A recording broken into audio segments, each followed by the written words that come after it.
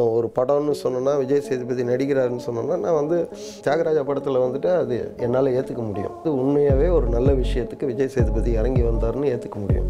நீங்கள் காலையில் தினத்தந்தி செய்தியை படிச்சுட்டு இல்லைன்னா வேறு எங்கிருந்தோ கொஞ்சம் டேட்டாஸை படிச்சுட்டு சார் அங்கே இது நடந்துதான் சார் இங்கே நடந்துதான்னு சொல்லிட்டு பத்து பேர் உட்காந்து ஒரு கதையை பண்ணவே முடியாது. ஒன்றுமே தெரியாமல் அதாவது இந்த இலக்கியத்தை அப்படியே கட்டி கட்டியாக படிச்சுட்டு பக்கம் பக்கமாக படிச்சுட்டு பேசும்போது கூட யதார்த்தமாக பேச முடியாத ஆட்கள் சில பேரெல்லாம் சினிமாவில் சுற்றின்னு இருக்கான். நான் ரைட்டர்னெல்லாம் சொல்லிட்டு நினைக்கிறேன். அசுரனில் வந்து பூமணியோட நாவலில் வந்து வெற்றிமாறன் வந்து என்ன பார்த்தாரோ அதைத்தான் அவர் எடுப்பார். அப்போ ஒரு எழுத்தாளர் வந்து ஸ்க்ரீன் பிளே எழுதுறதுக்கு முன்னாடி நான் நிறைய படங்களை வந்து நல்லா கவனிச்சிருந்தா இல்லை படங்களை கவனித்தா போதுமான்னு எனக்கு தெரியல. ஏன்னா ஏன்னா நான் இப்போ உலக சினிமா பார்க்க ஆரம்பித்ததுக்கு முன்னாலேயே ஒரு இருபது வருஷத்துக்கு முன்னால் இருபத்தஞ்சி வருஷத்துக்கு முன்னாலெல்லாம் படம் பார்த்துக்கினே இருக்கிறவங்க இருக்காங்க. அன்னைக்கிலேருந்தே அங்கங்கே ஏதாவது ஒரு சொசைட்டிலேருந்தோ அங்கேருந்தோ படம் பார்த்துக்கினே வராங்க மக்கள். அவங்க வந்துக்கிட்டே இருக்காங்க நிறைய இருக்குது ஆனால் அவங்களுக்கு வந்து சினிமா பற்றின புரிதல் வருமான்றது தெரியல. அது அது கிடைக்குமான்னு தெரியாது. அது உங்களுக்கு நீங்கள் சினிமாவை புரிஞ்சுக்கிட்டு பார்க்கும்போது உங்களுக்கு கிடைக்கிற சினிமா வேறு. நான் வந்துட்டு இதை பார்த்தேன் அதை பார்த்தேன் சினிமா பேரடைஸை பார்த்தேன் இதை பார்த்துட்டு தான் நான் சினிமாவுக்கே வந்தேன் அப்படின்னு சொல்கிறாங்க சினிமா பேரடைஸனோட ஒரு அரை சதவிகித கூறு கூட அவர் படத்தில் இருக்காது. நான் சொல்கிறது அதை பார்த்து வரணும்னு சொல்லலை. ஆனால் அதனோட மைண்ட் இருக்குல்ல அதை பார்க்குற ஒரு மைண்ட் இருக்குல்ல அந்த மைண்டு இவர் படத்தில் எங்கேயாவது இருக்கான்னு பார்த்தா இருக்கவே இருக்காது. உலக சினிமா இவ்வளோ வந்துச்சுன்றதுனால பிரயோஜனமே இல்லைன்னு தான் எனக்கு படுது. அதை படம் பார்க்குறாங்க நிறைய பேர் படிக்கிறாங்க ஆனால் அதுக்கு அதுக்கான ஆளுங்க தான் அதுக்கு அது உள்ளேருந்து அதை கண்டுபிடிச்சி வர்றவங்க தான் சினிமாவுக்கும் இலக்கியத்துக்கும் கரெக்டாக வந்து சேர்றாங்க. மற்றவங்கெல்லாம் எல்லாருக்கும் அது கிடைக்கிறது இல்லை கிடைக்கவும் போகிறது இல்லை அதுதான் இப்போ தமிழில் ஒரு படம் வெளியான உடனே வந்துட்டு ஃபஸ்ட்டு என்ன பார்க்குறாங்கன்னா ரிவ்யூஸ் தான் நம்ம போய் பார்க்குறாங்க ஆன்லைனில் இன்றைக்கி இருக்க எல்லாருமே. ரிவ்யூவர்ஸை வச்சு தான் வந்து அந்த படத்தை ஜட்ஜ் பண்ண ஜட்ஜ் பண்ணுறாங்க மெயினாக இது நீங்கள் எப்படி பார்க்குறீங்க சார் சொல்லியிருந்தாரு. இது மாதிரி வந்து சினிமா பார்க்குறவன் வந்து விமர்சகனாக வர்றவன் சினிமா எடுக்கிறவனை விட கொஞ்சம் அறிவில் பறந்துப்பட்டவனாகவும் உலக விஷயங்கள் தெரிஞ்சவனாகவும் இந்த டைரக்டர் ஏன் இந்த படம் பண்ணியிருக்காருன்னு தெரியுமான்னு சொல்கிற அளவுக்கும் இருக்கிறவனுமா இருந்தன்னா தான் சினிமா வளரும். விமர்சகர்கள் அப்படிப்பட்டவங்களாக வரணும்னு கேள்விப்பட்டிருப்பீங்க. மிஷ்கின் தான் இதை சொன்னார். வேற ஒருத்தர் சொன்னதை சொல்லி சொன்னார். நான் கேட்குறேன் ரொம்ப சர்வசாதாரணமாக கேட்குறேன் நான் இப்போது இப்போ வந்து படம் பார்க்குறேன் எனக்கு எழுத தெரியணும்னு தெரியும் அப்படின்ற ஒரே காரணத்துக்காக பத்து வரி எழுதி போடுறேன். கதையை எழுதி போட்டுடுறேன். இல்லைனா அந்த டைரக்டருக்கு ஒன்றும் தெரியாதுன்னு போட்டுடுறேன். ஏதோ ஒன்று என் இஷ்டத்துக்கு நான் எழுதி போடுறேன். இது வந்து படம் விட்டுட்டு வெளியில் வந்து ஒரு பத்து ஃப்ரெண்ட்ஸ் கூட பேசுகிற மாதிரி இருக்கிற விஷயத்த நீங்கள் போடுறீங்க. ஆனால் நீங்களாக உங்களை மாதிரியே மற்றவங்க இருப்பாங்கன்னு சொல்லவே முடியாது. வேறு வேறு ஆளுங்க இருக்காங்க. வேறு வேறு பார்வை இருக்கும். வாழ்க்கையை பார்க்குற முறையே வேறையாக இருக்கும். நீங்கள் போடுற இந்த பத்து வரி வந்து ஒரு ஒரு ஒரு மொத்த கூட்டத்தையும் அடிச்சுன்னு போகிற மாதிரி இருக்கிற விஷயமா இருக்குது ஒரு படம் எனக்கு பிடிச்சிருந்ததுன்னு நான் போடுறது வேற. இந்த டைரக்டருக்கு வந்துட்டு கேமராமேன் வச்சு சரியாக வேலை வாங்க தெரியலன்னு எழுதுறது வேற. அப்படின்னு நிறைய நிறைய வாய் நிறைய வர வர்ற பெணாத்தல்களை விமர்சனமாக இருக்குது ஆனால் என்னென்னா ஒரு விஷயத்தில் அது சரிசமமாகிறது எப்படின்னு கேட்டால் வர்றதும் குப்பை எழுதுறதும் குப்பை. சரி பிரச்சனை இல்லை அப்படியே போட்டோன்றது போயிட்டுருக்கு. இன்றைக்கி ஸ்க்ரீன் ப்ளே எழுதுகிறவங்களுக்கு நீங்கள் என்ன சொல்லணும்னு நினைக்கிறீங்க சார் ஸ்க்ரீன் ப்ளே எழுதுகிறவங்களுக்கு வந்துட்டு முதல்ல கொஞ்சம் லைஃபோட அனுபவத்தை வாங்கினவங்களா இருந்தால் நல்லாயிருக்கும் இல்லைன்னா அட்லீஸ்ட்டு நம்ம கண்ணு முன்னால் லட்சம் மக்கள் இருக்காங்க. அவங்கள கவனிக்கிறவங்களா இருந்தோன்னா அதுதான் அவங்களோட முதல் படிப்பாக இருக்கும். அதுக்கப்புறம் நிஜமாகவே தமிழில் படிக்கிறதுக்கு இல்லைன்னா இங்கிலீஷில் படிக்கிறதுக்கு இல்லை உலகம் பூராவும் இருக்கிறத படிக்கிறதுக்கு ஆயிரம் வழிகள் இன்றைக்கி இருக்குது சினிமா பார்க்குறதுக்கு வழிகள் இருக்குது சினிமாவை ஆழ்ந்து கவனிக்கிறதுன்றது வந்துட்டு நீங்கள் வாழ்க்கையை கவனிக்கிற மாதிரி ஒரு ஒரு ஒரு ஒரு ஒரு மகாநதி மாதிரி ஒரு படம் பார்க்கும்போது என்னடா லைஃபு ஒருத்தனுக்கு இப்படி நடக்குமா? இது இதெல்லாம் இ- இந்த உலகத்தில் நம்ம வாழற ரொம்ப சர சுக சௌகரியமாக நடக்கிற இடத்துல தான் இதெல்லாம் நடந்துன்னு இருக்கான்ற ஒரு எண்ணம் வரும் இல்லை ஒரு படம் பார்க்கும்போது. அது ஒரு திங்கிங் ஒரு தாட் அது அது வளரும்போது ஆட்டோமேட்டிக்காக மனுஷங்களை பற்றின கவலை துக்கம் இதெல்லாம் நமக்கு கிடைக்கும். கிடைக்கும்போது நீங்கள் உங்கள் உங்களுக்குள்ளே வந்து நீங்கள் அதையெல்லாம் வச்சுக்கிறீங்க. அந்த அதெல்லாம் அதெல்லாம் ஒரு ஒரு விஷயங்களாக மாறுது. அப்போ தான் நீங்கள் ஒரு மனுஷனை புதுசாக படைச்சி எடுக்க முடியும். இல்லை ஒரு பொண்ணை படைச்சி எடுக்க முடியும். உன் வீட்டில் ஒரு அம்மா இருக்காங்க ஒரு தங்கச்சி இருக்காங்கன்னு சொன்னோன்னா நீ கவனிக்க ஆரம்பித்தா உனக்கு தெரியும். அவள் வந்து உனக்கு எவ்வளோ வேலை செய்கிறா நீ வந்து அவளை எப்படி நடத்துகிறன்றது நீ உன் வீட்டிலே கண்டுபிடிச்சிருவ. அப்படி கண்டுபிடிக்கும் போது உனக்கு தெரியும். எப்படியெல்லாம் நடத்தியிருக்காங்க இல்லை எப்படியெல்லாம் நடத்துவாங்க இப்படியெல்லாம் வரும்போது உங்களுக்கு கதை பண்ணுறதுக்கான விஷயங்கள் கிடைக்குது. நான் எல்லார மாதிரி இப்படி சொல்ல மாட்டேன். நிறைய படிங்க நிறைய பாருங்க. நான் அதனால் பிரயோஜனம் கிடையாது. அதான் உங்கள் மனசில் இருக்கிற சினிமாவை தான் நீங்கள் சினிமாவாக பார்க்கணும். இல்லைன்னா உங்கள் மனசில் இருக்கிற எழுத்தை தான் நீங்கள் எழுத்தாக படிக்கணும். அது உங்களுக்குள்ளே இருக்கிற பொட்டென்ஷியலை வளர்க்குறதுக்கு நீங்கள் என்ன பண்ணணுங்கிறது தான். உண்மையாகவே சினிமா எடுக்கிறதுன்றது ஒரு நல்ல சினிமா. நான் சொல்கிறது வெறும் கமர்ஷியல் படம் எடுக்கிறதுக்கு கூட பார்வை இருக்கணும். அவனுக்குன்னு ஒரு அவனுக்குன்னு ஒரு சிக்னேச்சர் இருக்கணும். அவனுக்குன்னு ஒரு தனித்த அடையாளம் இருக்கணும். அது இருந்தேன்னா தான் ஸ்க்ரீன் ப்ளே கிடைக்கும். இல்லைன்னா அது கிடைக்கிறதுக்கு வாய்ப்பு இல்லை கதையை கோர்க்கலாம். யார் வேணால் கோர்க்கலாம். அவங்க என் பையனை கூட உட்கார வச்சுட்டு இந்த கதையை இப்படி ஆர்டராக சொல்லுன்னு அவன் சொல்லிவிடுவான் அது திரைக்கதை ஆகாதுன்றது தான் மேட்ரு இப்போது தமிழ் சினிமாவில் டேரக்டர்ஸ் பொறுத்த வரைக்கும் வந்து ஒவ்வொரு டேரக்டர்ஸும் அவங்களுக்கான தனித்துவம் இருக்கும். கௌதம் மேனன் ஆகட்டும் மணிரத்னம் ஆகட்டும் அப்புறம் இந்த மாதிரி நிறைய டேரக்டர் அது வந்து வந்த புதுசில் எல்லாம் கொண்டாடினாங்க. போக போக போக ஒரு கட்டத்தில் திகட்டும் போது வந்துட்டு அதே வந்துட்டு எல்லாமே வந்துட்டு நக்கல் அடிக்கிற மாதிரியான சூழ்நிலை உருவாகுது. இது நீங்கள் எப்படி பார்க்குறீங்க? இல்லை ஒரு டைரக்டரு இப்போ பெக் பெக்பன் படம் பார்த்தீங்கன்னா அவங்களதெல்லாம் ஒன்று ஒன்று இருக்கும். அவரோட அவரோட படம் தான் அது எல்லாம். இல்லைன்னா தமிழில் நல்ல நாவல்கள் நாலஞ்சு எழுதுனவங்களை படித்து பாருங்கள் அவங்க தான் எழுதுனாங்கன்னு நம்ம கண்டுபிடிச்சிடலாம். புதுமை பித்தனை நீங்கள் எங்கே இருந்தாலும் கண்டுபிடிக்கலாம். இது புதுமை பித்தனோட சிறுகதை தான்ட்டு அது அந்த சிக்னேச்சர் தப்பு கிடையாது. அது இருக்கணும். ஒரு ஒரு தனி படைப்பாளிக்கு வந்து தனி அடையாளம் தனி தனித்த கையெழுத்து எல்லாமே வேணும். அது அது சந்தேகமே இல்லை. அவன் பத்து படம் பண்ணியிருப்பான்பா பத்து படமும் ஏறக்குறைய ஒரே படம் தான் சொன்னா கூட தப்பே கிடையாது. ஆனால் ஒரு படத்துக்கு தான் என்கிட்ட பொட்டென்ஷியலே இருந்தது. நான் ஒரு படம் பண்ணிட்டேன். ரெண்டாவது படம் பண்ணும்போது எனக்கு என்ன பண்ணுறதுன்னே தெரியல. அந்த சிக்னேச்சரே திருப்ப திருப்ப போட்டுன்னு இருந்தேன்னா வெறுத்துருவோம். அதுதான் விஷயம். அது வந்து நீங்கள் மாற்றி பண்ணணுன்றதெல்லாம் கிடையாது. உங்களுக்கு தெரியாதுன்றேன் நான். அது வந்து ஏற்கனவே கொஞ்சம் தெரிஞ்சது. அதெல்லாம் இறக்கி விட்டீங்க. லாரியிலேருந்து சரக்கு இறக்குற மாதிரி இறக்கி வச்சுட்டு வெறும் லாரி கிளம்பி போன மாதிரி தான் அது பின்னால் நடக்கிற விஷயங்க அது அப்படி கிடையாது. ஒரு கதைக்கு நான் கதை வச்சு நிற்கிறது கிடையாது. எனக்கு வந்து எந்த கதையும் பண்ண முடியும். எந்த விஷயத்தை வேணால் சொல்ல முடியுங்கிற நாலேஜ் தான் சினிமா பண்ணுறதுன்றது அது இல்லாமல் நான் ஒரு கதையை நான் நல்ல பேர் கூட சேர்ந்து பண்ணிட்டேன். இனி அடுத்தது நாலு பேரை தேடுறேன் போது நீங்கள் உங்கள் கையெழுத்தை தான் நீங்கள் காப்பாற்றிக்க முடியும். கதையோ இல்லைன்னா மற்றது எதையும் காப்பாற்ற முடியாது. அது அது பிரச்சனையாக தான் போகும். ஆனால் நல்ல நல்ல ஆளுங்க. இப்போ அந்த கே. சங்கர்னெல்லாம் முன்ன ஒருத்தர் படம் பண்ணிட்டு இருந்தார்.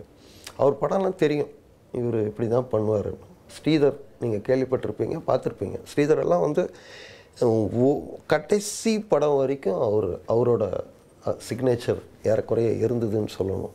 இல்லை இப்போவே மணிரத்னம் கூட வந்து எங்கேயோ ஒன்று ரெண்டு இடம் சறுக்குனா கூட அவர் வந்து தமிழ் சினிமாவை வந்து ஒரு அடி முன்னால் நவுத்துனவருன்றதுல ஒரு டவுட்டும் கிடையாது. அவர் வந்துட்டு இப்போவும் இப்போவும் கூட கொஞ்சம் அவர் அவர் அவர் மாஸ்டர் மாதிரி தான் ஏறக்குறைய. அவர் வந்துட்டு இவங்கள மாதிரி எல்லாம் படம் பண்ண வேண்டிய நெசசிட்டியே கிடையாது. அதெல்லாம் பண்ணுறாரு அதெல்லாம் விட்டுட்டு அவர் நான் என் படம் பண்ணணும்னு இப்போ கூட ரெடி ஆனார்னா அவர் செம்ம படம் கொடுப்பாருன்னு தான் நான் நம்புகிறேன் வேறு ஆளுங்களெல்லாம் பற்றி சரியாக சொல்ல முடியல. ஒரு நாலு பாட்டு கொஞ்சம் கொஞ்சம் ஃபேன்சியான சில சீன்ஸு ஒரு ஒரு ஒரு ஒரு சின்ன ஆடியன்ஸ்க்கு வேண்டிய சாக்லேட்டு இது இது கொடுத்துக்கின்னு வந்து படத்தை பண்ணின்னு இருக்காங்க. அது போர் அது அதுவும் ஒரு கட்டத்தில் ஜனங்களுக்கு வெறுப்படிக்காமல் வேறு என்ன பண்ணும்? இன்றைக்கி தமிழ் சினிமாவில் வந்து நிறைய பெண் இயக்குனர்கள் வந்திருக்காங்க. அதுவும் இல்லாமல் பெண் சார்ந்த படங்கள் தனியாக பெண்களை மையப்படுத்தி உருவாகிற படங்கள் நிறைய வந்துகிட்ருக்கு இதை நீங்கள் எப்படி பார்க்குறீங்க சார்? உலகம் பூராவும் அந்த தொடங்கி கொஞ்ச நாள் ஆயிடுச்சு. அப்புறம் வந்து பெண்கள் வந்துட்டு முதல்ல ஒன்று சொல்லலாம். பெண்கள் வந்துட்டு ஒரு படம் பண்ணுறாங்கன்னு சொன்னோன்னா இது வரைக்கும் கையாண்டிருந்த ஒரு ஆண் திரைமொழி ஒன்று இருந்தது. அதிலிருந்து நகர்ந்து ஒரு பெண் வந்து தன் பார்வையிலேருந்து என்ன பண்ணுறாங்கிற ஒரு கொஸ்டின் பொ பொதுவாக ரேஸ் ஆயிடுச்சு. அந்த அந்த இடத்துல வந்துட்டு இப்போ உலக சினிமாலாம் வந்துட்டு ஒரு ஒரு பந்தயம் மாதிரி பாய்ச்சல் நிகழ்த்திக்கிட்டு இருக்காங்க. அதுவும் பெண் இயக்குனர்கள் வந்து கொஞ்சம் நெஞ்சம் பேர் கிடையாது. அவங்க வந்து சொல்லக்கூடிய விஷயங்களே ஆண்களை வந்து முழுக்க முழுக்க அதிர்ச்சிக்குள்ளாக்குற பல விஷயங்கள் இருக்குது ஆண் வந்து எதை பெண்ணியம்னு நம்பின்னு இருக்கிறானோ அந்த பெண்ணியத்தை கூட கேள்வி கேட்குற விஷயங்களை பெண்கள் இப்போ பண்ணுறாங்க நிறைய படங்கள் இருக்குது இப்போ ஃபேட் கேர்ள் மாதிரி இருக்கிற படத்தெல்லாம் வந்துட்டு இங்கே சொன்னோன்னா அடிக்க வருவாங்க. ஆனால் அவங்க அவங்க வந்து ஒரு ஒரு கொஸ்டினை வைக்கிறாங்க. அது வந்து ஒரு பெண் பார்வையிலேருந்து வர்றது.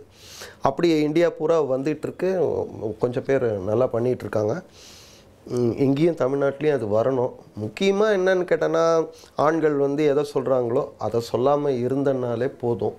அவங்க அவங்களுக்கு அவங்க கிட்டேருந்து ஒரு பார்வையில் அவங்க தன்னோட படங்களை கொண்டு வர்றது இருந்துன்னா அது ரொம்ப நல்லா இருக்கும். அப்போ தான் வேறு ஒரு மாற்றம் வரும். இன்னும் சொல்ல போனோன்னா பெண்கள் அதில் வந்து கரெக்டாக முழு வீச்சிலலாம் வந்துட்டாங்கன்னா ஆண்கள் வந்து திடுக்கிட்டுருவாங்கன்றது தான் உண்மை. அப்போ வந்து நிறைய போலிகள் ஒழியும் இங்கேருந்து. ஒழிஞ்சதுன்னு சொன்னோன்னா உண்மையிலே சில விஷயங்கள் தெரிஞ்சவங்க அதுக்குள்ளே வர்றதுக்கு வாய்ப்பு இருக்குது பெண்களால் வந்து இங்கே இங்கே இருக்கிற நிறைய குப்பைங்களை அடித்து விரட்ட முடியும்னு நினைக்கிறேன். இன்றைக்கி த வந்து நிறைய சமூகம் சார்ந்த சமூகம் ஒரு குறிப்பிட்ட சமூகம் சார்ந்த பிரச்சனைகளை பேசுகிற படங்கள் வந்துட்டுருக்கு. அது மட்டும் இல்லாமல் ஒரு குறிப்பிட்ட சமூகத்தோட பெருமையை பேசுகிற படங்களும் இப்போ வந்துட்டுருக்கு. இந்த சூழல் நீங்கள் எப்படி பார்க்குறீங்க? இல்லை அது இப்போ உலகத்தில் இருக்கிற எல்லாத்தையும் நாங்கள் பேசுகிறோங்கிறதுக்காக பேச ஆரம்பித்தோம் அப்படின்னு இருக்கும்போது வந்துட்டு சாதாரணமாக நான் சொல்கிறேன் நம்ம கேள்விப்பட்டிருப்போம். ஒடுக்கப்படுகிற இனம்னு ஒன்று நம்ம கேள்விப்பட்டிருப்போம். அவங்க வந்து எல்லா தரப்புலேருந்தும் தங்களோட முழக்கங்களை இல்லைன்னா தங்களோட வேண்டுகோள்களை இல்லைன்னா தங்களோட அடிப்படுற அடிபடுற அனுபவங்களை சொல்ல வேண்டிய விஷயம் இருக்குது ஒரு ஒரு கருப்பை யூரோப்லேருந்தோ அமெரிக்காவிலேருந்தோ குரல் கொடுக்க வேண்டியது வந்துட்டு அவனோட தார்மீக கடமை அது. அது மாதிரி தான் இந்தியாவில் வந்துட்டு தலித் படங்கள் வந்தது. தலித் படங்களில் வந்து இப்போது ஒரு கேள்வி வைக்கிறாங்க. அந்த கேள்விக்கு வந்துட்டு கரெக்டாக கரெக்டாக மற்றவங்களெல்லாம் பதில் சொல்லணுன்ற அளவுக்கான படங்கள் கூட வந்திருக்கு. அப்படி தான் தலித் படங்கள் வருது. ஒரு அது அது ஒரு சமூகம் தான் அந்த சமூகம் வந்து தன்னோட விஷயங்களை சொல்கிறது தான் அவங்க சொல்கிறது வந்துட்டு எனக்கு ஏன் இப்படி நிகழ்ந்தது? எனக்கு ஏன் இப்படி நிகழுது? நான் என்ன ஆவேன்ற கொஸ்டின் அவங்க வைப்பாங்க. அதுக்கு அவங்கள ஆள்றவங்க அவங்கள அடிமைப்படுத்துகிறவங்க அவங்களும் நாங்கள் ஒரு படம் எடுத்துட்டு நான் வந்துட்டு இப்படி நான் வந்து அப்படி நான் அதை ஆண்டேன் அப்படின்னு எல்லாம் வந்ததுன்னு சொன்னோன்னா அது தப்பு தான். நீங்கள் வந்துட்டு இப்போ வந்து எந்த இனத்தை பெருமைப்படுத்தியும் நம்மளுக்கு ஒன்றுமே கிடையாது. நம்ம மொத்த பேரும் வந்து தமிழருங்கன்னு சொல்லும்போது நீங்கள் இத்தனை இனத்தை வந்து இத்தனை இதை வந்து பல இடத்துல கட்டமைச்சிட்டோம். இங்கேயும் கட்டமைக்கணுமான்றது தெரியல. அநேகமாக நான் நினைக்கிறேன் வீக்கான ஆளுங்க தான் இதை செஞ்சுன்னு இருப்பாங்க. யார்கிட்ட இருந்தாவது அவங்கக்கிட்ட இருந்து அவங்க இனத்தில் யார்கிட்ட இருந்தாவது பணம் கடன் வாங்கிட்டு படம் பண்ண தெரியாது இது பண்ண தெரியும். அதுக்காக வந்துட்டாங்க நிறைய பேர். அதுதான் சொல்லலாம். மற்றபடி அதை சினிமாவாக பொருட்படுத்த வேணாம்னு நினைக்கிறேன் நான். இன்றைக்கி ஏதோ ஒரு படம் வந்துருக்குதுன்னு கொஞ்சம் பத்து பேர் பார்த்துட்டான். நாளைக்கு இதே வரும்போது யாரும் பார்க்க மாட்டாங்க. அதனால் அதை அதை நம்ம டோன்ட் கேர்னு விட்டுறலாம். ஓகே சார் இப்போ வந்து தமிழ் ஆடியன்ஸ்க்கு வந்து பெரும்பாலும் மலையாள சினிமாக்கள் மேலே ஒரு இன்ஸ்பிரேஷன் இருந்துகிட்டே இருக்குது அதே மாதிரி மலையாள ஆடியன்ஸ் வந்து தமிழில் வர கமர்ஷியல் படங்களை வந்து ரொம்ப விரும்பி பார்க்குறாங்க. நீங்களும் வந்து நிறைய இடங்களில் உதாரணம் சொன்னால் மலையாள சினிமாக்களே நீங்கள் சொல்லிட்டு இருக்கீங்க அதுக்கு என்ன காரணம்? முதல்ல வந்து அவங்க தங்களோட திரைக்கதையை திருத்திக்கிட்டாங்கன்றது தான் ஃபஸ்ட்டு முதல் ம- எனக்கு மலையாள சினிமா மேலே இருக்கிற ஒரு இது. இப்போ வந்து ஒரு மகாநதி இல்லைன்னா அன்பே சிவம் இல்லை ஏதோ ஒரு ஹேராம் இது மாதிரி இருக்கிற படங்க. இல்லைன்னா பழைய காலத்து படங்க. இந்த மாதிரி இல்லைன்னா நடுவில் கூட வந்த பாரதி ராஜா மாதிரி இருக்கிறவங்க ஒரு ஒரு ஆத்தா ஆடி ஆடு வளர்த்தா அப்படின்னு ஒரு தருணமெல்லாம் இருந்ததில்ல.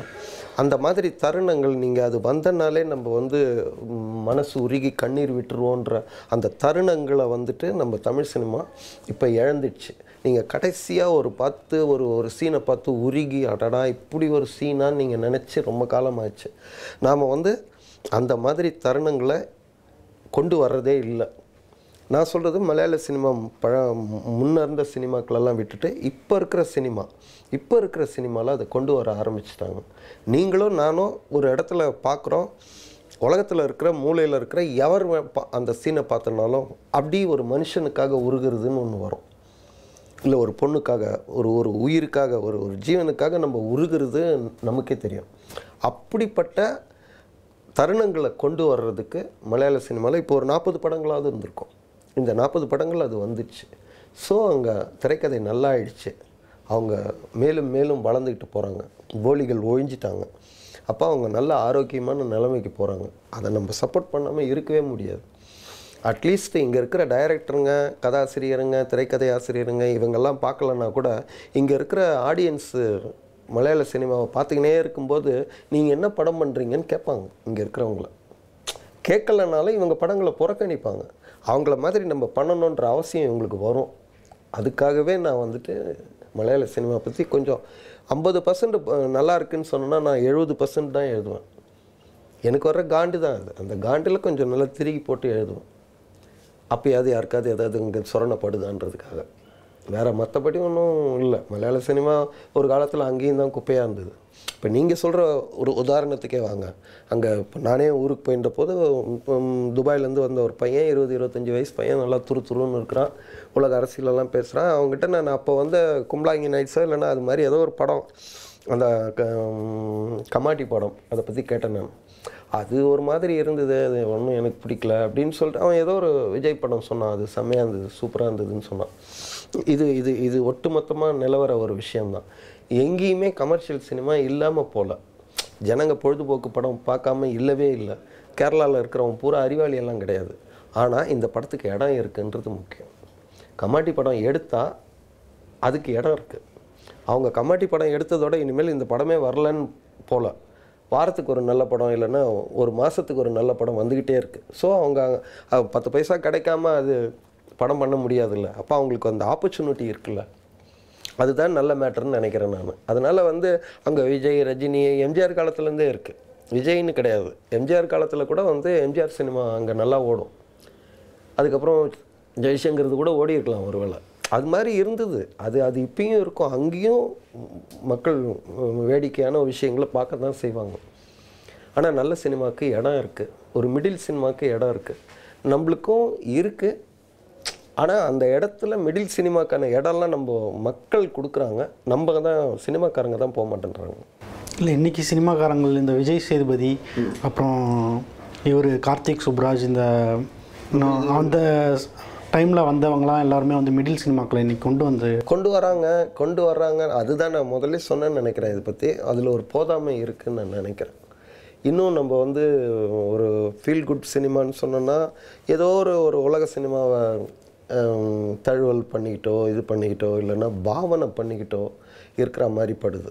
இன்னும் கரெக்டாக இப்போது ஒரு படம்னு சொன்னோன்னா விஜய் சேதுபதி நடிக்கிறாருன்னு சொன்னோன்னா நான் வந்து தியாகராஜன் ப தியாகராஜா படத்தில் வந்துட்டு அது என்னால் ஏற்றுக்க முடியும். அது அது அது வந்து உண்மையாகவே ஒரு நல்ல விஷயத்துக்கு விஜய் சேதுபதி இறங்கி வந்தாருன்னு ஏற்றுக்க முடியும். அதே மாதிரி ஒன்று ரெண்டு ஃபீல் குட் படம் பண்ணாங்க. அது அதெல்லாம் சரியா ஆகலை. அதெல்லாம் வந்து கரெக்டான கதை கிடையாது கரெக்டான இது கிடையாது ஒரு உலக சினிமா மாதிரி ஒரு மாயத்தை உண்டு பண்ணிச்சே தவிர அசலான முயற்சியாக எனக்கு படலை. நீங்கள் உங்களுடைய நாவல் மதுரை விசாரத்தில் வந்துட்டு ஒரு ஸ்கிரிப்ட் வந்து உள்ளே வச்சுருந்தீங்க. அதுக்கு என்ன காரணம் சார்? அதான் இப்போ என்னென்னா இப்போ நான் இருக்கிறேன் ஸ்கிரிப்டை பற்றி ரொம்ப காலம் பேசினே இருக்கிறேன். கரெக்டான நான் ஒரு முழுமையான ஸ்கிரிப்ட் எழுதி யாருமே படம் எடுத்துகிட்டு போகிறது கிடையாது. நான் பண்ணேன்னா அதில் ரிப்பேர் பண்ணுவாங்க அதை இது பண்ணுவாங்க இல்லைன்னா அவங்க பண்ணதை நான் ரிப்பேர் பண்ணியிருப்பேன் இப்படி ஒன்று இருக்கும். எனக்கு என்ன பொட்டென்ஷியலு ஸ்கிரிப்டை பற்றி இவ்வளோ பேசின்னு இருக்கிறியா உனக்கு என்ன தெரியுன்ற மாதிரி ஒன்று இருக்கும். அதுக்காக நான் என்ன பண்ணுவேன்னு கேட்டேன்னா அப்பப்போ எனக்கு தேவையான ஒன்று ரெண்டு ஸ்கிரிப்ட் நான் எழுதி வச்சுக்கிட்டே இருப்பேன். இந்த மதுரை விசாரம் கதை வந்து அவ்வளோ சீக்கிரமாக யாரும் ஏற்றுக்கக்கூடியது கிடையாது. அது வந்து ஒரு ஒரு ஒரு முக்கியமான விஷயத்தை பற்றி இருந்தது. அந்த அந்த ஸ்கிரிப்ட் அந்த ஸ்கிரிப்ட் வந்து இப்போதைக்கெல்லாம் படமே பண்ண முடியாதுன்ற லெவலுக்கு பல இடங்களில் போய் ரிவர்ஸ் வந்தது. ஐயோ இது வேண்டாம் இது வேண்டாம் இது வேண்டான்னு சொல்லிட்டு பல இடங்கள்ல இந்த ரிவர்ஸ் வந்தது. அப்போது ஒரு அட்வான்ஸ் ஸ்கிரிப்டு எப்படியெல்லாம் இருக்கலாங்கிறத எப்படித்தான் நம்ம தெரிய வைக்க முடியும்?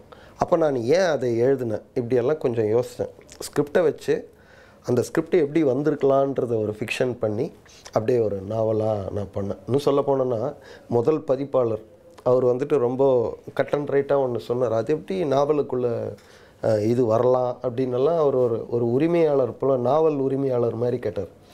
நான் பரவாயில்லன்னு நினச்சி நான் அவரை விட்டுட்டு நான் அடுத்த வேலையை பார்த்தேன். ஆனால் ஸ்கிரிப்டை பற்றி சொல்லி ஆகணும். இந்த நாவலே எதுக்குன்னா ஸ்கிரிப்ட்னா என்ன? ஒரு ஸ்கிரிப்ட் உருவாகிறதுக்கு என்னவெல்லாம் ஒரு வேலை தேவைப்படும்? ம- அதுக்கு மனசுக்குள்ளே மூளைக்குள்ளெல்லாம் எத்தனை எத்தனை லேயர்ஸ் இருந்ததுன்னா ஒரு ஸ்கிரிப்ட் ஒன்று வந்து உட்காரும். இதை பற்றி ஸ்கிரிப்ட் மட்டும் இல்லை ஸ்கிரிப்டுக்கான காரணங்கள் என்னன்றது தான் நாவல் அதனால் வந்து ஏன் நாவலுக்குள்ள ஸ்கிரிப்ட் வந்ததுன்ற கேள்விக்கே இடம் இல்லை அதை பற்றி தான் நாவல் அதான். அதை பற்றி தான்னா அது வேணும் இல்லை அது உள்ள. அதை அப்படி தான் அது எழுதினேன். ஓகே சார் இது வரைக்கும் நம்ம டிஸ்கஸ் பண்ண விஷயங்கள்ல இருந்து தமிழ் சினிமா வந்து இன்னும் ஒரு தேக்க நிலையிலே இருக்குன்னு நீங்கள் சொல்ல வர மாதிரி கன்வே ஆகுது இதிலேருந்து எப்படி மீண்டு வருது? அடுத்த கட்டத்துக்கு தமிழ் சினிமா போகிறதுக்கு என்னென்ன பண்ணலாம்? இல்லை என்னென்ன பண்ணலான்னா எனக்கு அது கண்டிப்பாக தெரியாது. ஆனால் ஒரு விஷயம் எனக்கு தெரியும். நான் இப்போ சொல்கிறேன் நான். இப்போது இந்த வருஷமே ஒரு நாலஞ்சு ஃபெஸ்டிவல் இங்கெல்லாம் நான் பார்த்தது வந்துட்டு ஒரு இருபது இருபத்தஞ்சி வயசு பசங்க ஃபிலிம் ஸ்கூல்ஸில் படித்தவங்க கொண்டவங்கெல்லாம் அவங்கெல்லாம் வந்துட்டு கொஞ்சம் துடிப்போடையும் கொஞ்சம் ஆர்வத்தோடையும் ஆவேசத்தோடையும் இருக்கிறதெல்லாம் நிறைய பார்த்தேன். இப்போ நீங்கள் பார்த்தீங்கன்னா தெரியும் பத்தாயிரம் ரூபாய் கொடுத்து ஒரே நாளில் டைரக்ஷன் படிக்கிறதுக்கெல்லாம் போகிறாங்க நிறைய மக்கள். அந்த அளவுக்கெல்லாம் ஏமாந்து இருக்கிறாங்கன்னா அவங்களுக்கு வந்து அந்த சினிமா மேலே இருக்கிற பேஷன் தான் காரணம். அவங்க வந்து கொஞ்சம் புதுசாக திங்க் பண்ணுறாங்கன்னு நினைக்கிறேன். நானே ஒரு ஒரு ஒரு ஒரு ஒரு காலேஜில் ஒரு எக்ஸாமினராக போன போது ஒரு ஒரு பத்து பேர் எனக்கு கதை சொன்னாங்க. ரொம்ப சின்ன வயசு பசங்க. அதில் அட்லீஸ்ட் மூணு பேர் நாலு பேராவது புதுசாக ஒன்று சொன்னாங்க. இப்போது நம்ம சினிமாக்காரங்க எதுவுமே யோசிக்காத லெவலில் புதுசாக ஒன்று சொன்னாங்க. எனக்கு அது அது நல்ல அறிகுறியாக பட்டுது. கூடிய சீக்கிரம் வந்துட்டு அந்த மாதிரி பசங்க இப்போ எக்ஸ்பெரிமெண்ட் ஃபிலிம்ஸு இந்த மாதிரி ஃபிலிம்ஸ்லலாம் ஈடுபட்டுன்னு இருக்கிறவங்க இவங்கெல்லாம் அடுத்த கட்டத்துக்கு ஃபீல் குட்டுக்கோ இதுக்கோ நகர்ந்து வரும்போது அதே நேரத்தில் மசாலா சினிமாவும் நல்லா வெகுஜன சினிமாவும் நல்லா மாறுன்றதுக்கு ஒரு வாய்ப்பு இருக்குது அதனால் இது தேக்கம்னு சொல்ல முடியாது. தேக்கம்தான். அந்த தேக்கத்தை நீக்கிறதுக்கு ஃப்யூச்சரில் வரக்கூடிய பசங்களால் முடியும்னு நினைக்கிறேன். நான் எனக்கு என் கூட பழகி என் என்னை தேடி வந்தவங்க என் கூட பேசினவங்க இல்லை நான் கொஞ்சம் பேரை பார்த்தேன். இப்படி இருக்கிற சிலரை வச்சே சொல்கிறேன் நான். நிறைய பசங்க இருக்காங்க. இவங்களெல்லாம் கொஞ்சம் அடிச்சு போட்டு அவங்க வருவாங்க. அப்போ சினிமா நல்லா இடம் நினைக்கிறேன். தமிழ் சினிமாவில் வந்துட்டு கதை திருட்டு அப்படிங்கிற ஒரு விஷயம் வந்துட்டு ரொம்ப காலமாக வந்து இருந்துகிட்டே இருக்குது இன்றைக்கி வரைக்குமே ஒரு ஸ்க்ரீ ஸ்க்ரீன் ப்ளே ரைட்டராக நீங்கள் வந்து இதை எப்படி பார்க்குறீங்க இல்லை. அதாவது வந்துட்டு ஸ்க்ரீன் ப்ளே வந்து வேறு ஸ்க்ரீன் ப்ளே கொஞ்சம் மாறி இருக்குது அப்படின்னு சொல்கிறாங்க ஆனால் வந்துட்டு இதை வச்சு தான் எடுத்தாங்க அப்படின்னு சொல்கிறாங்க இதை நீங்கள் எப்படி பார்க்குறீங்க இல்லை அதாவது எதை திருடினாலும் திருட்டு திருட்டு தான் அப்படின்னு சொல்லலாம். இன்னொன்று இருக்குது என்னன்னு கேட்டேன்னா இப்போது இப்போ நான் வந்து உலகத்தில் ஒரு ஒரு ஒரு பயங்கரமான ஒரு படம் பார்க்குறேன் இப்போ கிடையாது. நான் சொல்கிறது ஒரு இருபது வருஷம் முன்னால். அப்போ வந்து அந்த மக்களெல்லாம் அது பார்க்குறதுக்கு வாய்ப்பே இல்லை. அப்போ வந்து எனக்கு இந்த படம் மனசில் அப்படி கவ்வி பிடிச்சிச்சு. சரி இதே மாதிரி தமிழ் மக்களுக்கு நான் ஒன்று பண்ணி காமிக்கணுன்ட்டு கொண்டு வந்தவங்க இருக்காங்க. இப்போ வந்து அன்பேவான்ற ஒரு படம் தமிழில். நீங்கள் இப்போ இத்தனை வருஷம் இருக்கும் நான் நினைக்கிறேன் ஐம்பது ஐம்பத்தஞ்சு வருஷம் இருக்கும் அந்த படம் ரிலீஸ் ஆகி. நீங்கள் அந்த படத்தை பாருங்கள் பார்த்தீங்கன்னா உங்களுக்கு தெரியும் அவ்வளோ அவ்வளோ நல்லாயிருக்கும் அந்த படம். அவ்வளோ திரைக்கதை சூப்பராக இருக்கும். அந்த அன்பேவா படம் வந்து கம் செப்டம்பரு இன்னொரு படம் அப்படின்னு எல்லாம் இது பண்ணுவாங்க. திருநது தான் ஆனால் அவங்க கரெக்டாக சொல்லணும்னா அவங்க அதனோட உரிமையாளர் பார்த்தோன்னா கூட சந்தோஷப்படுவான். ஓ இந்த நம்ம பண்ண கதை இவ்வளோ பேருக்கு போய் சேர்ந்ததுன்றது. அது வந்து நோக்கம் தான் அதனோட முக்கியம். பாலு மகேந்திரா கமல் இவங்கெல்லாம் வந்து சில படங்களை இந்த படங்களை இந்த மாதிரி மாற்றி கொடுத்துருக்காங்க. ஆனால் அது வேற திரைக்கதை வேற மேக்கிங் இல்லைன்னா வேறு க்ரியேட்டிவ் அதாவது மறு படைப்பு செஞ்சுருக்காங்க. அதை வந்து நீங்கள் திட்டுறதா இருந்தால் திட்டிக்கலாம். அவன் அதுலேருந்து தான் திருநான்னு சொன்னால் கமலை பிடிக்கலன்னா நம்ம அப்படி திட்டிக்கலாம். ஆனால் விஷயம் அது கிடையாது. ஒரு ரெயின்மேன் கிடையாது குணா.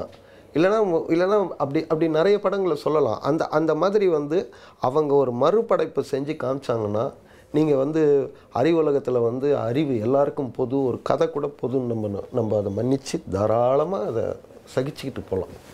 எனக்கு ஒன்றுமே தெரியாது. என்கிட்ட கதையே கிடையாது. நான் ஒரு டிவிடி எடுத்துன்னு போய் கொடுத்து ப்ரொடியூசர்கிட்ட இதை தான் நான் எடுக்க போகிறேன் இல்லைன்னா ஒரு ப்ரொடியூசர் நீ எதுக்குப்பா கதையெல்லாம் சொல்லினுக்கிற ஏதாவது ஒரு படத்தோட டிவிடி எடுத்துன்னு வந்து கொடு. அப்படின்னு ஒன்று நடக்குது. இல்லைன்னா சுத்தமாக ஒருத்தன் வந்துட்டு நாலு பேர் இருக்கிற இடத்துல ஒருத்தன் கதையை சொல்கிறான் இவன் போய் வேற ஒரு இடத்துல கதை சொல்லும்போது இவன் கதை நல்லா இல்லை. டக்குன்னு வந்து அவன் கதையை எடுத்து சொல்கிறான் அது ஓகேவாயிடுது உடனே இது என் கதை தான் சொல்கிறது இல்லைன்னா யாரையாவது கூப்பிட்டு நீ இது இது நீ இருந்தால் எப்படி பண்ணுவ? அப்படின்னு கேட்குறது இல்லைன்னா சிலர் கதை சொல்லிவிட்டு அந்த கதையை வந்து மெதுவாக எடுத்துக்கிட்டு அவங்ககிட்டே சந்தேகம் கேட்டு அவன் படம் வந்துட்டு தேட்டரில் ரிலீஸ் ஆகி பார்த்த கதையெல்லாம் நடந்திருக்குது இது மாதிரி எல்லாம் இது இந்த இந்த இது வந்து கதை திருட்டுன்னு கூட சொல்ல தேவையில்ல. இது வந்து அயோக்கியத்தனம் திருட அப்படி தான் சொல்ல முடியும். அது வந்து வடிகட்டின அயோக்கியத்தனங்கிறதுல டவுட்டே கிடையாது. அப்புறம் காப்பி பேஸ்ட் பண்ணுறது நீ வந்துட்டு உன்னால் கதை பற்றி எதுவுமே தெரியாது கதை பண்ணவே முடியாது. நீ ஒரு உலக சினிமா பார்க்குற நீ அந்த படம் நல்லாயிருக்கு ஓடிச்சு இதெல்லாம் வச்சு நீ பண்ணுற உனக்கு தான் இதிலே ஒன்றும் தெரியாது. நீ அதை எடுத்து பண்ணும்போது நீ என்ன பண்ணிட போகிற அவன் அவ்வளோ கஷ்டப்பட்டு பண்ணியிருப்பான். நீ திருடனுக்கு வந்து அவ்வளோ வராது. திருடனுக்கு வந்து மறுபடைப்பு செய்ய முடியுமா? அந்த படம் ஒன்றுமே இருக்காது. அதனோட ஒரிஜினல் பிரமாதமான படமாக இருக்கும். இப்போ எனக்கு தெரிஞ்சு உலகத்தில் இருக்கிற மெலினாலாம் கூட எடுத்துட்டாங்க தமிழில்.